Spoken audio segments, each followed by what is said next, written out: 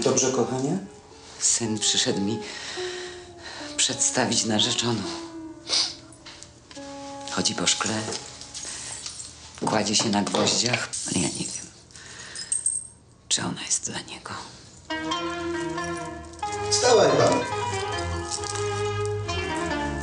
No śmiało, nie ma się tego bać.